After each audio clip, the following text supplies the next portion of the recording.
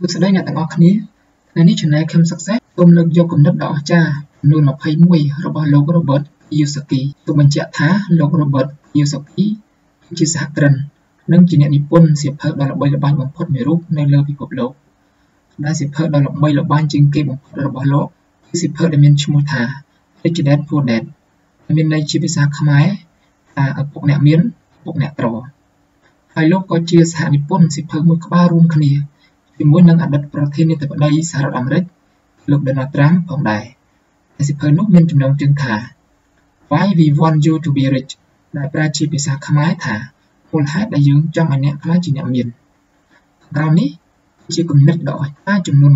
21របស់លោក Robert Kiyosaki ទី1ក្នុងពិភពពិតមនុស្សដែលឆ្លាតជាងគេគឺជាមនុស្សដែលធ្វើខុសនិងរៀនសូត្រពីកំហុសនោះនៅក្នុងសាលារៀន មនុស្សឆ្លាតបំផុតមិនធ្វើខុសទេមិនថាអ្នកជានរណាដើម្បីឈានដល់ទីខ្ពស់និងទទួលបានជោគជ័យក្នុងជីវិតអ្នកត្រូវតែមានឆន្ទៈក្នុងការបរាជ័យហ៊ានធ្វើខុសធ្វើកំហុសគឺជាបទពិសោធន៍បទពិសោធន៍កាន់តែច្រើនអ្នកនឹងទទួលបានជោគជ័យកាន់តែច្រើនប្រសិនបើអ្នកអានសៀវភៅរបស់លោក Robert Kiyosaki អ្នកនឹងដឹងថាគាត់គឺជាមនុស្សម្នាក់ដែលនិយាយឥតចូលអំពីការរៀនសូត្រនិងព្យាយាម ធ្វើអ្វីដែលថ្មីជាការពិតណាស់កំហុសនិងការបរាជ័យរបស់អ្នកគឺជាជំហានដែលនឹងធ្វើឲ្យអ្នកទទួលបានភាពជោគជ័យនាពេលអនាគតទី2ទំហំនៃភាពជោគជ័យរបស់អ្នកបានវាស់វែងដោយទំហំនៃបំណងប្រាថ្នាទំហំនៃក្តីសុបិននិងវិធីដែលអ្នកដោះស្រាយការខកចិត្តលើដំណើរផ្លូវទៅកាន់ភាពជោគជ័យនោះលេចមើលជីវិតរបស់អ្នកឥឡូវនេះអ្នកកំពុងរស់នៅក្នុងជីវិតដែលអ្នកចង់បានទេប្រ សិនបើអ្នកមិនមានវាមានន័យថាបំណងប្រាថ្នារបស់អ្នកមិនរឹងមាំនោះទេមនុស្សជោគជ័យអាចឆ្លងកាត់ការលំបាកទាំងអស់ហើយបង្កើតលទ្ធផលមិនធម្មតានៅក្នុងជីវិតពួកគេមានបំណងប្រាថ្នាយ៉ាងខ្លាំងចំពោះអ្វីដែលពួកគេចង់បានគេមានក្តីសុបិនធំហើយពួកគេបានរៀនដោះស្រាយការខកចិត្តដែលពួកគេបានជួបប្រទះនៅពេលធ្វើដំណើរនៅលើផ្លូវនោះអ្នកត្រូវតែដូចគ្នាតែដំបូងត្រូវរៀនបណ្ដុះនៅបំណងប្រាថ្នារបស់អ្នកជាមុនសិនទី3 វាមិនមែនជាអ្វីដែលអ្នកនិយាយចេញពីមាត់របស់អ្នកតែកំណត់ជីវិតរបស់អ្នកនោះទេតែជាអ្វីដែលអ្នកខ្សឹបប្រាប់ខ្លួនឯងទេតែវាមានអំណាចបំផុតវាគឺជាការនិយាយប្រាប់ខ្លួនឯងតែនឹងកំណត់ថាអ្នកទទួលបានជោគជ័យក្នុងជីវិតយ៉ាងដូចម្តេចមនុស្សជោគជ័យរំលឹកខ្លួនឯងជានិច្ចអំពីក្តីសុបិនរបស់ពួកគេពួកគេបន្តប្រាប់ខ្លួនឯងថាគេអាចធ្វើវាបាននៅក្នុងខួរក្បាលរបស់ពួកគេប្រសិនបើអ្នកចង់បង្កើតភាពជោគជ័យលេចធ្លោសូមធ្វើដូចគ្នា ព្រមមើលការនិយាយប្រាប់ខ្លួនឯងនិងបន្តបំពន់គំនិតរបស់អ្នកជាមួយសារវិជ្ជមានជាប្រចាំទី4ប្រសិនបើអ្នកចង់ទៅកន្លែងណាមួយយកល្អអ្នកត្រូវរកម្នាក់ម្នាក់ដែលនៅទីនោះរួចហើយប្រសិនបើអ្នកចង់វិនិយោគនៅក្នុងផ្សារហ៊ុនតើអ្នកនឹងទទួលបានដំបូន្មានពីនរណាម្នាក់តែមិនធ្លាប់វិនិយោគនៅក្នុងផ្សារពីហ៊ុនពីមុនដែរឬទេឬតើអ្នកនឹងទទួលបានដំបូន្មានពីអ្នកជើងចាស់អ្នកដែលបានវិនិយោគតាំងពីមួយទសវត្សរ៍មុន ហើយទទួលបានលទ្ធផលល្អពីការវិនិយោគរបស់គាត់ចម្លើយគឺជាក់ស្ដែងមែនទេប្រសិនបើអ្នកចង់ទទួលបានជោគជ័យផ្នែកហិរញ្ញវត្ថុឬក្នុងអាជីពរបស់អ្នកក៏ស្វែងរកនរណាម្នាក់ដែលបានធ្វើវារួចហើយហើយចូលសួរពួកគេពីរបៀបធ្វើវាទី5នោះអត់បន់ការចូលចិត្តស្ដីបន្ទោសគុណសោសំខាន់បំផុតមួយដើម្បីទទួលបានជោគជ័យគឺឈប់ចង្អុលមុខអ្នកដទៃហើយចាប់ផ្ដើមទទួលខុសត្រូវទាំងស្រុងចំពោះអ្វីដែលបានកើតឡើងក្នុងជីវិតរបស់អ្នក ដែលអ្នកស្ដីបន្ទោសទៅលើមនុស្សឬរឿងផ្សេងអ្នកកំពុងតែលះបង់អំណាចរបស់អ្នកដើម្បីផ្លាស់ប្ដូរស្ថានភាពអំពីវាប្រសិនបើអ្នកបន្ទោសសេដ្ឋកិច្ចរដ្ឋាភិបាលពុកម្ដាយឬបុគ្គលិករបស់អ្នកចំពោះការបរាជ័យរបស់អ្នកតើអ្នកអាចផ្លាស់ប្ដូរអ្វីបានចម្លើយគឺគ្មានទេតែប្រសិនបើអ្នកទទួលខុសត្រូវ100%តិចទៅមើលនឹងមានអ្វីកើតឡើងគឺថាអ្នកនឹងកំពុងគ្រប់គ្រងបញ្ហាបានយ៉ាងល្អជាជាមិនខាន នៅពេលអ្នកជឿថាអ្នកគឺជាហេតុផលអ្នកអាចប្រើប្រាស់វិធីផ្សេងហើយនោះវានឹងធ្វើឲ្យមានភាពខុសគ្នាចំពោះលទ្ធផលទី6វាជាការសំខាន់ក្នុងការបង្កើនចំណូលជាជាងកាត់បន្ថយចំណាយរបស់អ្នកវាជាការសំខាន់ដើម្បីបង្កើនស្មារតីរបស់អ្នកជាជាងកាត់បន្ថយក្តីសុបិនរបស់អ្នកប្រសិនបើអ្នកបរាជ័យក្នុងការសម្រេចគោលដៅរបស់អ្នកមិនទោសនៅបទដ្ឋានរបស់អ្នកដោយអ្វីដែល Robert Kiyosaki បាននិយាយ ចូលរៀនបង្កើតប្រាក់ចំណូលរបស់អ្នកជាជាងកាត់បន្ថយចំណាយរបស់អ្នកចង់លេងល្បែងការពារឬក៏ចង់លេងល្បែងវាយលុកមនុស្សខ្លាំងគេលេងល្បែងដើម្បីឈ្នះមនុស្សសាមញ្ញលេងល្បែងដើម្បីកុំឲ្យចាញ់អ្នកត្រូវតែយល់ពីមួយណាដែលជាផ្នែកកម្រិតរបស់អ្នកអ្នកចង់លេងហ្គេមដើម្បីឈ្នះមិនមែនដើម្បីជៀសវាងការចាញ់នោះទេដូច្នេះចូលគិតធំហើយកុំកាត់បន្ថយក្តីសុបិនរបស់អ្នកឲ្យសោះ7ការសិក្សាផ្លូវការ និងការអប់រំចំណេះដឹងហិរញ្ញវត្ថុពួកវាទាំងពីរសុទ្ធតែមានភាពសំខាន់ដូចគ្នាប៉ុន្តែសាលារៀនបានបោះបង់មួយចោល Robert Kiyosaki គឺគាត់និយាយត្រឹមត្រូវដោយអប់រំផ្លូវការនិងការអប់រំចំណេះដឹងហិរញ្ញវត្ថុគឺមានភាពសំខាន់ដូចគ្នាប៉ុន្តែសាលាមិនបានបង្រៀននោះទេចំពោះចំណេះដឹងហិរញ្ញវត្ថុនេះគឺជាមូលហេតុដែលលោក Jim Rohn បាននិយាយផងដែរថា អប់រំផ្លូវការនឹងធ្វើឲ្យអ្នកមានលទ្ធភាពក្នុងការរស់នៅហើយការអប់រំខ្លួនឯងនឹងធ្វើឲ្យអ្នកមានទ្រព្យសម្បត្តិដូច្នេះកុំឈប់រៀនទោះបីជាអ្នកបានបញ្ចប់ការសិក្សានៅសាលាផ្លូវការក៏ដោយតែចូលអ្នកបន្តនិងបង្កើនជំនាញរបស់អ្នកថែមទៀតពិសេសចំពោះអ្នកដឹងនឹងជំនាញថ្មីថ្មី8ជំនាញនឹងលុយ ធ្វើការដើម្បីរៀនកុំធ្វើការដើម្បីលុយធ្វើការដើម្បីទទួលបានចំណេះដឹងនោះជាច្រើនខំប្រឹងរកលុយហើយគិតថានឹងបានភាពរីករាយប៉ុន្តែមិនអញ្ចឹងទេមិនមែនអ្នកខំប្រឹងរកលុយដើម្បីឲ្យអ្នកបានរីករាយនោះទេអ្នកត្រូវតែរៀនរីករាយនឹងការងារដែលអ្នកធ្វើ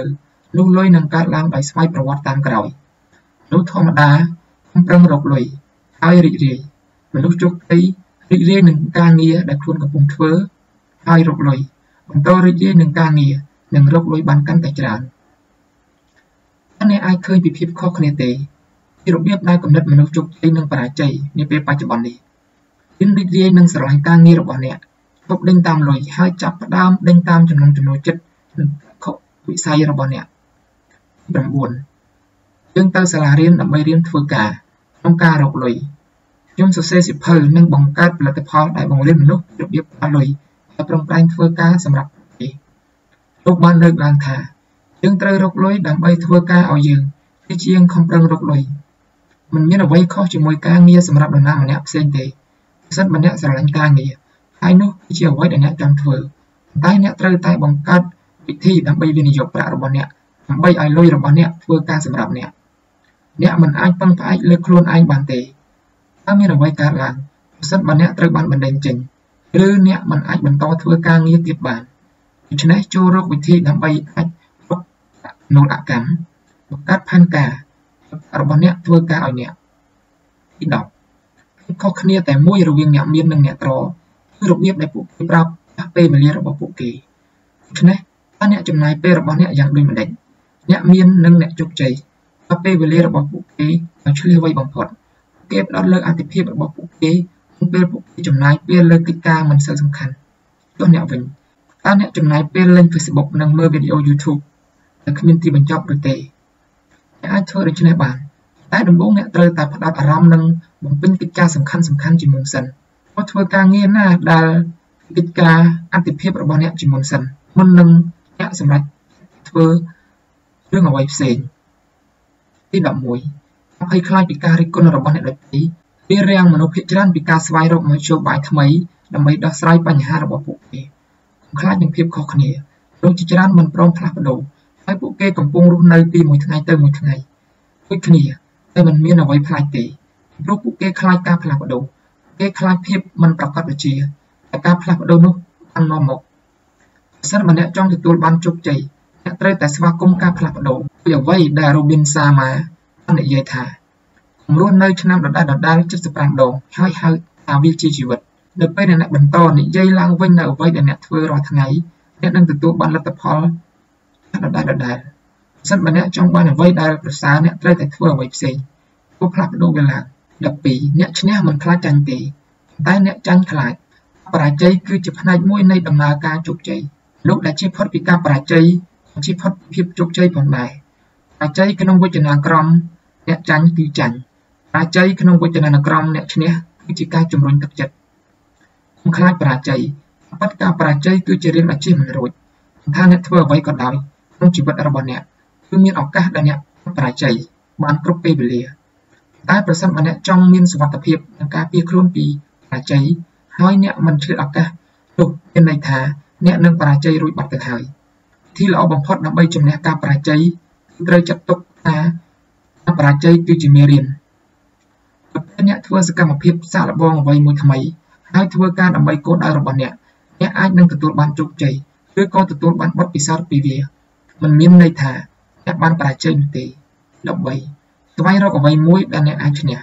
ហើយបន្ទាប់មកលះបង់ជីវិតរបស់អ្នកក្នុងការធ្វើរឿងនោះរហូតទទួលបានជោគជ័យបងលេងល្បែងដែលអ្នកអាចឈ្នះ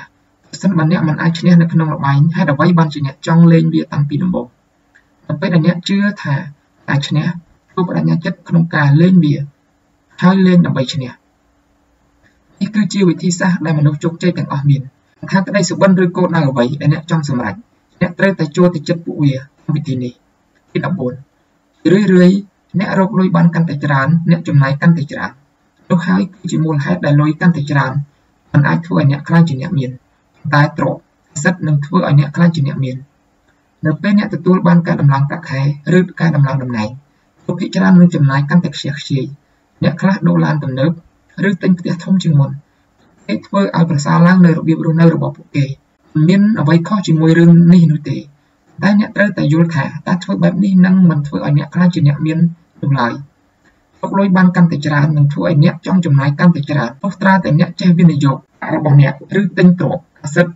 សិនបើមិនដូច្នេះទេអ្នកនឹងធ្វើការដើម្បីលុយអស់មួយជីវិត15សិនបើអ្នកចង់មានសេរីភាពហិរញ្ញវត្ថុ ត្រូវខ្លាចជាមនុស្សម្នាក់ដែលខុសពីអ្នកសពថ្ងៃនេះហើយត្រូវបោះបង់ចោលនៅទង្វើដែលទាញអ្នកទៅរកការងារអតីតកាលហើយត្រូវបោះបង់ចោលនៅទង្វើអ្វីដែលទាញអ្នកទៅរកអតីតកាលមិនថាអ្នកចង់ខ្លាចជាអ្នកមានឬអ្នកចង់កសាងអាជីពគ្រប់ទេអ្នកត្រូវតែយល់ពីបញ្ហានេះអ្នកនៅកន្លែងណាអ្នកនៅនៅពេលនេះដោយសារតែអ្នកជានរណាហើយដើម្បីទទួលបានជោគជ័យប្រសើរជាងមុនអ្នកត្រូវបោះបង់ទង្វើដែលធ្វើឲ្យខ្លួនអ្នកស្ថិតនៅត្រង់នេះ ហើយខ្លាចជាមនុស្សម្នាក់ដែលប្រសើរជាងមុនអ្វីដែលអ្នកដឹងនិងអ្វីដែលអ្នកធ្វើធ្វើឲ្យអ្នកស្ថិតនៅក្នុងស្ថានភាពនេះ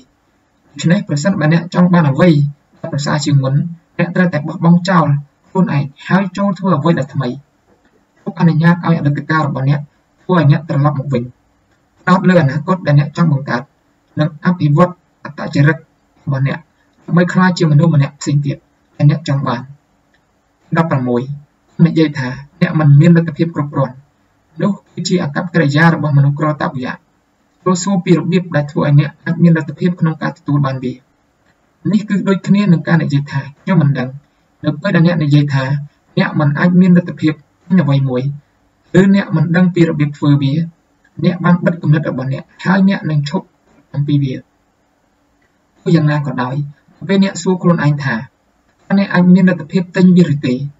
ឬអ្នកអាចធ្វើវាបានដោយរបៀបណានោះខួរក្បាលរបស់អ្នកនឹងចាប់ផ្ដើមដំណើរការគិតហើយប្រាប់អ្នកចម្លើយនោះដូច្នេះនៅពេលអ្នកចង់បានអ្វីមួយកុំនិយាយថាអ្នកមិនអាចមានលទ្ធភាពទិញឬអ្នកមិនដឹងពីរបៀបធ្វើវាឬទទួលបានវាត្រូវសួរសំណួរដើម្បីជំរុញការច្នៃប្រឌិតនៅក្នុងខួរក្បាលរបស់អ្នកនោះអ្នកត្រូវបានបំផុសគំនិតឲ្យសម្រេចរឿងនោះជាពេលណាមួយតតែបាន17ហើយសង្ឃឹមធ្វើឲ្យធម៌ពលរបស់អ្នកអស់កម្លាំង សកម្មភាពបង្កើតធម៌ពលទៅពេលអ្នកអង្គុយហើយសង្ឃឹមថាអ្វីៗនឹងមករកអ្នកអ្នកកំពុងច្របាច់ធម៌ពលរបស់អ្នកក្នុងការគិតទៅទីបំផុតអ្នកនឹងចាប់ផ្ដើមព្រួយបារម្ភព្រោះវាមិនបានមករកអ្នកនោះទេយ៉ាងវិញទៀតមនុស្សជោគជ័យចាត់វិធានការជាជាងរំចាំរឿងរ៉ាវនានាមករកពួកគេពួកគេបរិសកម្មហើយនឹងធ្វើឲ្យអ្វីអ្វីបានកើតឡើងសិនបើកប៉ាល់មិនមករកអ្នកនោះទេពួកអ្នកហែលទឹកចេញដើម្បីស្រវារកវា ឱកាសនឹងមិនធ្លាក់ពីលើមេឃនោះទេអ្នកត្រូវចាត់វិធានការនិងធ្វើអ្វីដើម្បីឲ្យវាកើតឡើង18ទស្សនវិជ្ជារបស់អ្នកមាននិងអ្នកក្រគឺអ្នកមានវិនិយោគប្រាក់ហើយចាយអ្វីដែលនៅសល់អ្នកក្រចំណាយប្រាក់ហើយវិនិយោគអ្វីដែលនៅសល់វាជាអតិពលយ៉ាងខ្លាំងដល់ការគ្រប់គ្រងនិងចំណាយលុយរបស់អ្នកប្រសិនបើអ្នកចង់មានសេរីភាពហិរញ្ញវត្ថុអ្នកត្រូវតែវិនិយោគជាមុនហើយបន្ទាប់មកចំណាយអ្វីដែលនៅសេសសល់ខាងក្រោយអួយស្ដាយដែលមនុស្សភាគច្រើនបានធ្វើ ផ្ទុយពីនេះគឺពួកគេចំណាយមុនហើយបន្ទាប់មកវិនិយោគអ្វីដែលនៅសល់តាមក្រោយធម្មតាពួកគេមិនមានអ្វីនៅសល់ដើម្បីវិនិយោគទេដូច្នេះអ្នកត្រូវតែបង្កើតទម្លាប់ដើម្បីវិនិយោគមួយចំណែកនៃលុយរបស់អ្នកមិនថាវាតិចតួចប៉ុណ្ណានោះទេអ្វីដែលសំខាន់នោះគឺជាគន្លឹះដើម្បីអភិវឌ្ឍនៅទម្លាប់សិនបើអ្នកមិនមានច្រើនទេត្រូវតែចាប់ផ្ដើមពីតូចទៅមុន19អ្នកដែលមិនចង់ប្រឈមមុខនឹងបញ្ហា នោះពួកគេនឹងបាត់បង់ការគ្រប់គ្រងជីវិតរបស់ខ្លួនឯងតែចង់បានសុខកាន់តែច្រើននោះការគ្រប់គ្រងក្នុងជីវិតរបស់អ្នកកាន់តែតិចជោគជ័យបានទៅដល់អ្នកដែលមានបំណងចង់សាកល្បងអ្វីដែលថ្មីដែលមិនខ្លាចបរាជ័យនិងអ្នកដែលហ៊ានធ្វើការផ្លាស់ប្ដូរប៉ុណ្ណោះបោះចោលគំនិតដែលអ្នកត្រូវការសុវត្ថិភាពនេះឆ្ពោះទៅរកភាពជោគជ័យគឺជាការវិវត្តឥតឈប់ឈរនិងរៀនសម្របខ្លួនដើម្បីផ្លាស់ប្ដូរនៅពេលអ្នកស្វែងរកសុវត្ថិភាព ហើយបដិសេធមិនផ្លាស់ប្ដូរនោះអ្នកនឹងបរាជ័យជាក់ជាមិនខាន20ប្រសិនបើអ្នកចង់ខ្លាចជាអ្នកមានអ្នកត្រូវអភិវឌ្ឍចក្ខុវិស័យរបស់អ្នកអ្នកត្រូវតែឈរនៅលើគែមនៃពេលវេលាសម្លឹងទៅអនាគតតើអ្នកចង់ខ្លាចជាអ្នកមាននិងជោគជ័យឬទេបើអ្នកឆ្លើយថាចង់វាជាការប្រសើរណាស់គួរចាប់ផ្ដើមជាមួយនឹងចក្ខុវិស័យរបស់អ្នកតើអ្នកចង់សម្រេចបានអ្វីខ្លះនាពេលអនាគតតើអ្នកចង់បានពីរបៀបរស់នៅបែបណាតើជោគជ័យអ្វីដែលអ្នកចង់សម្រេច Steve Jobs គាត់បាននិយាយថាអ្វីអ្វីគ្រប់យ៉ាងគឺចាប់ផ្ដើមពីក្តីសុបិននិងចក្ខុវិស័យប្រសិនបើអ្នកកំពុងធ្វើការលើអ្វីដែលគួរឲ្យរំភើបតែអ្នកពិតជាជោគចិត្តទុកដាក់អ្នកមិនចាំបាច់ត្រូវបង្ខំទេចក្ខុវិស័យនឹងជំរុញអ្នកជាមិនខានដូច្នេះអភិវឌ្ឍចក្ខុវិស័យរបស់អ្នកជួយធ្វើឲ្យអំណាចនៃក្តីសុបិននិងចក្ខុវិស័យជាកម្លាំងជំរុញជួយរុញច្រានអ្នកទី21អ្នកចាញ់បានឈប់នៅពេលពួកគេបរាជ័យ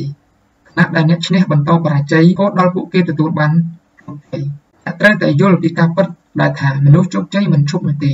ពួកគេធ្វើខុសតែពួកគេមិនឈប់នោះទេនៅពេលដែលអ្នកឈប់ហើយបោះបង់អ្នកនឹងចាញ់នេះគឺជាភាពខុសគ្នាដ៏ធំបំផុតរវាងនរណាម្នាក់ដែលទទួលបាននូវភាពជោគជ័យនិងនរណាម្នាក់ទៀតដែលទទួលបាននូវភាពបរាជ័យបើសិនបើអ្នកមិនឈប់ទេអ្នកនឹងមិនបរាជ័យឡើយសំខាន់ជាងនេះទៅទៀតនោះគឺអ្នកត្រូវរៀនពីកំហុសនិងការបរាជ័យរបស់អ្នកដូចដែលលោក Robert Kiyosaki បាននិយាយថា អ្នកឈ្នះនឹងបន្តបរាជ័យរហូតដល់ពួកគេទទួលបានជោគជ័យហើយឃ្លាមួយដែល Peru ធ្លាប់បាននិយាយទៅកាន់ Hafid ឆ្នេះថាបរាជ័យនឹងមិនអាចយកឈ្នះលើឯងបានទេសិនបើសេចក្តីប្រាថ្នាដើម្បីជោគជ័យរបស់ឯងមុមុតហើយខ្លាំងក្លាសូមអរគុណសម្រាប់ការតាមដានទស្សនាវីដេអូឃ្លីបនេះកុំភ្លេច Subscribe និងចុចសញ្ញាកណ្ដឹងដើម្បីទទួលបានវីដេអូថ្មីៗសូមអរគុណសូមជម្រាបលា